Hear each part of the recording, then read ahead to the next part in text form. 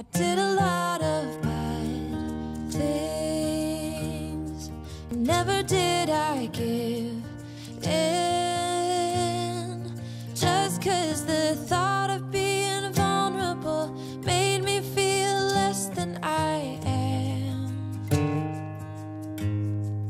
I have never felt home till you entered my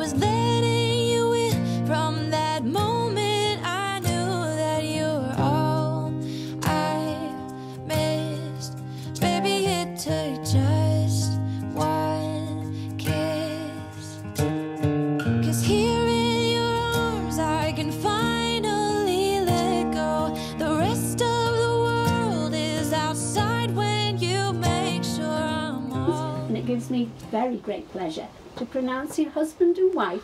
Would you like to kiss your bride?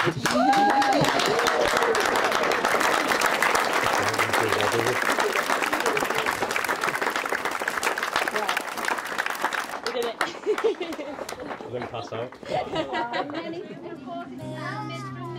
Baby, it takes